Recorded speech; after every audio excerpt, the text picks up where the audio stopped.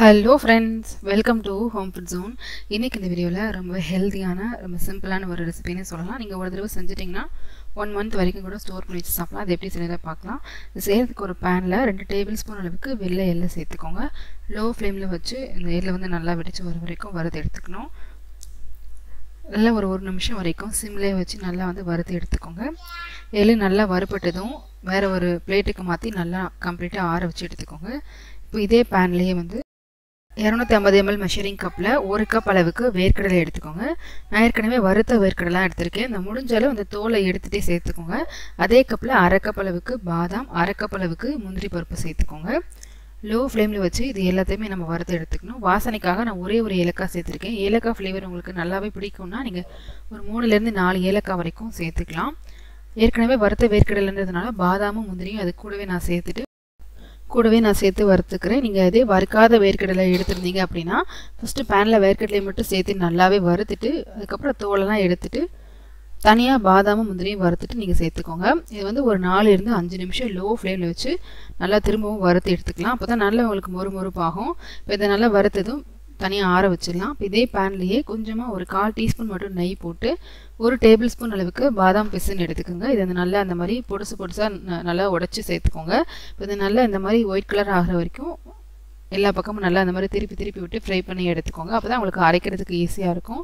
வாசனையும் நல்லாயிருக்கும் இப்போ நம்ம அரைச்ச பாதாம் முந்திரி பருப்பு வேர்க்கடலை எல்லாமே மிக்ஸி ஜாரில் சேர்த்துட்டு கூடவே இந்த பாதாம் பிசனையும் சேர்த்துக்கலாம். இதை ரொம்ப ஃபைன் பவுடராக அரைக்காமல் கொஞ்சம் குறகுறப்பாக இந்த மாதிரி பொடி பொடியாக அரைச்சிக்கணும். இப்போ இதை ஒரு பவுலுக்கு மாற்றிக்கலாம் இப்போது இதே மிக்ஸி ஜார்லேயே வந்து ஒரு கப் அளவுக்கு பேரிச்சம்பழம் சேர்த்துக்கோங்க. விதை எடுத்துகிட்டு இந்த மாதிரி கொஞ்சம் கட் பண்ணி சேர்த்துக்கோங்க. அரைக்கிறதுக்கு ஈஸியாக இருக்கும். தேவைப்பட்டால் தண்ணி ஒரு ஸ்பூன் இல்லை ரெண்டு ஸ்பூன் அந்த மாதிரி சேர்த்து அரைச்சிட்டு அரைச்ச அந்த பேரிச்சம்பழ பேஸ்ட்டை ஒரு பேனில் போட்டு நம்ம லேசாக வந்து வறுத்துக்கணும். ஒரு கால் டீஸ்பூன் மட்டும் நெய் போட்டு இந்த பேரிச்சம்பழ பேஸ்ட்டை போட்டுட்டு மீடியம் ஃப்ளேமில் வச்சு ஒரு ரெண்டு நிமிஷம் மட்டும் நல்லா வறுத்தாலே போதும். நல்லா வறுத்த அந்த பேரிச்சம்பழம் பேஸ்ட்டு நல்லா சூடு ஆறுனதும் நம்ம ஏற்கனவே அரைச்சி எடுத்து வச்சுருக்கிற அந்த வேர்க்கடலையோடு சேர்த்து நல்லா மிக்ஸ் பண்ணி எடுத்துக்கலாம். தனியாக எக்ஸ்ட்ரா தண்ணி எதுவுமே சேர்க்க தேவையில்லை இந்த வேர்க்கடலை பொடிக்கும் இந்த பேரிச்சம்பழம் பேஸ்ட்டுக்கும் கரெக்டாக இருக்கும். மிக்ஸ் பண்ணிங்கன்னா கன்சிஸ்டன்சி பார்த்தாலே உங்களுக்கு தெரியும். செய்யும்போது பவுலில் ஈரப்பதம் இல்லாமல் பார்த்துக்கோங்க. அப்போ தான் உங்களுக்கு ரொம்ப நாள் நீங்கள் வச்சாலுமே வந்து கெடாமல் நல்லாயிருக்கும் இப்போ பார்த்திங்கன்னா நல்லா இந்த அளவுக்கு இறுக்கமாக உருட்டி எடுத்தாச்சு. இப்போ இதை வந்து ஒரே அளவாக இந்த மாதிரி சின்ன சின்னதாக பிரித்து நல்லா உருட்டி எடுத்துக்கலாம். உங்களுக்கு எந்த ஷேப்பில் பிடிக்குமோ செஞ்சுக்கலாம். சிம்பிளாக இருக்கணுன்றதுக்காக இந்த மாதிரி லட்டு மாதிரி உருட்டி எடுத்துட்டு நம்ம முதல்ல வறுத்த எல்லை ஒரு பிளேட்டில் போட்டுட்டு இந்த மாதிரி நல்லா அதில் பரட்டி நல்லா ப்ரெஸ் பண்ணி திரும்ப உருட்டி எடுத்து வச்சுக்கோங்க.